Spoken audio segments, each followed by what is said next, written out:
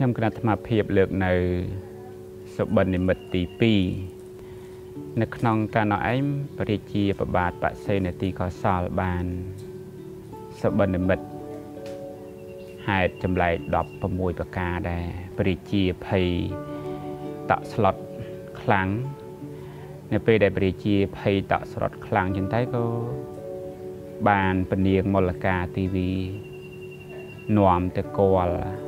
ចំពោះព្រះសម្មាសម្ពុទ្ធបានព្រះអង្គសាកសួរដឹងសាច់រឿងចឹងទៅគឺព្រះអង្គសម្ដែងថា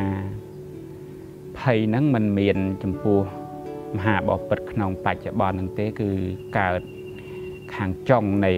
សាសនារបស់តថាគតនៅខាងចុងសាសនារបស់តថាគតនឹងឯងបានព្រះសម្មាសម្ពុទ្ធបរមគ្រូព្រះអង្គឲ្យព្រះជា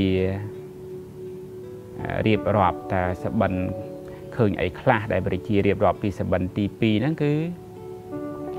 ព្រះជាសបិននិមិត្តឃើញដើមឈើតូចតូចណាដើមឈើហ្នឹងណាដោះតូចតូចទៀបទៀបចឹងទៅស្រាប់តែដើមឈើហ្នឹងវាចេញផ្កាចេញផ្លែផុសប្រក់កដីជាធម្មតាដើមឈើវាតន់តែដាំទៅវាធំវាគ្រប់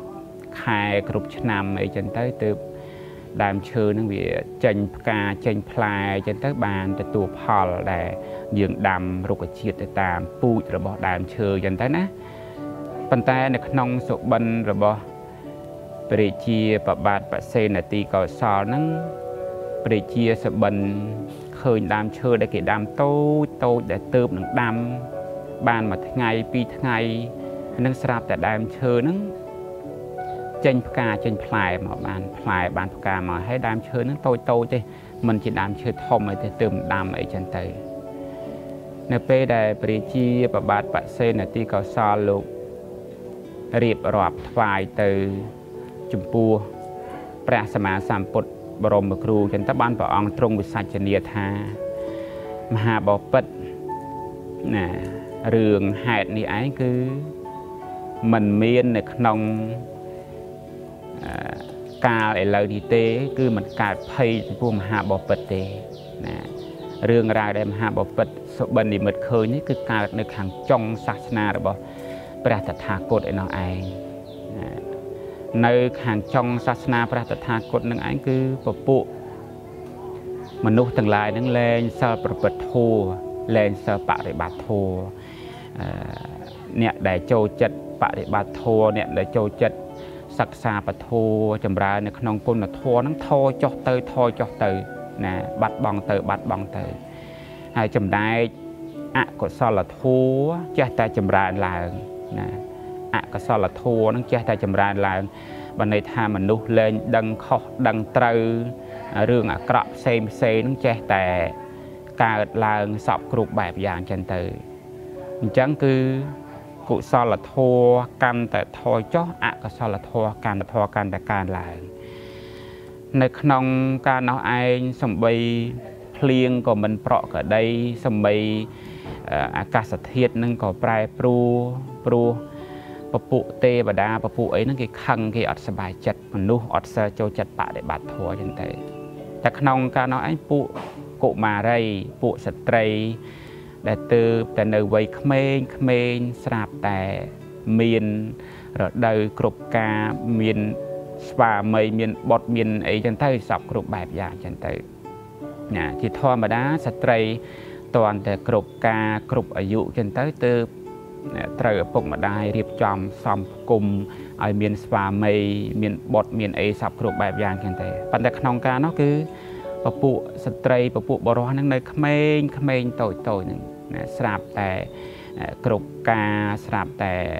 បានគ្នាជាស្វាមីភរិយាអីសពគ្រប់បែបយ៉ាងចឹងទៅ គឺលែងមានការប្រព្រឹត្តទៅទៅតាមទំនៀមទម្លាប់ប្រពៃណីអីសពគ្រប់បែបយ៉ាងអញ្ចឹងទៅរឿងរ៉ាវបែបនេះគឺបញ្ជាក់ទៅនឹងមហាបពិតណាមហាបពិតដែលមហាបពិតសបិនឃើញ ដើមឈើតូចតូចណាទៅតែនឹងដាំដើមឈើនឹងស្រាប់តែដើមឈើនឹងលាស់ត្រួយមកចេញផ្កាចេញផ្លែនឹងប្រៀបដូចជាពួកកុមារី តូចតូចអញ្ចឹងស្រាប់តែគ្រប់ការបានស្វាមីបានបុតបានអីសពគ្រប់បែបយ៉ាងហ្នឹងគឺរឿងរ៉ាវហ្នឹងឯងត្រង់កើតអញ្ចឹងទេมันមានជាភ័យអីទៅដល់រាជបល្ល័ង្កមហាបពិតដោយពពួកព្រាមនឹងថាទេដែលពពួកព្រាមហ្នឹងគេគេថាអឺសបិនរបស់ព្រះអង្គហ្នឹងមានភ័យ3កើតចំពោះព្រះអង្គហើយទី1គឺភ័យហ្នឹងកើតឡើងដល់រាជបល្ល័ង្កព្រះអង្គទី2គឺ រោគទាំងឡាយហ្នឹងនឹងបៀតបៀនដល់ព្រះអង្គទី3ព្រះអង្គនឹងអស់បជនព្រោះភ័យនឹងបានបៀតបៀនដល់ព្រះអង្គតាមពិតពពួកព្រាមដែលឆ្លើយមកអញ្ចឹងមិនមែនព្រាមនឹងមិនដឹងទេព្រាមនឹងឆ្លាតតែប៉ុន្តែដោយចង់បានលៀបសការៈចង់បានការសែនព្រេនអីចឹងទៅបូជាយ៉ាងអីចឹងទៅក៏ចេះតែឆ្លើយចឹងទៅតាមពិតដល់ពេលជួបព្រះសម្មាសម្ពុទ្ធ បរមគ្រូព្រះអង្គសម្ដែងថាវាអត់មានភ័យអីចំពោះពរាជាទេតាមពិតគឺកើតនៅកញ្ចង់សាសនាហើយតែកើតកញ្ចង់សាសនាហ្នឹងគឺសម្ដៅថាកុសលធម៌កាន់តែថយអកុសលធម៌កាន់តែចម្រើនចឹងទៅមនុស្សទាំងឡាយហ្នឹងមានរាគៈទោសៈពេញខ្លួនចឹងទៅសំបីកុមារីតូចតូចទៅចឹងក៏បានរៀបចំសំគុំមានស្វាមីមានបុត្រមានអីសពគ្រប់បែបយ៉ាងឯងសបិននិមិត្តទី2ចប់ប៉ុណ្្នឹងឯងសូមអនុមោទនា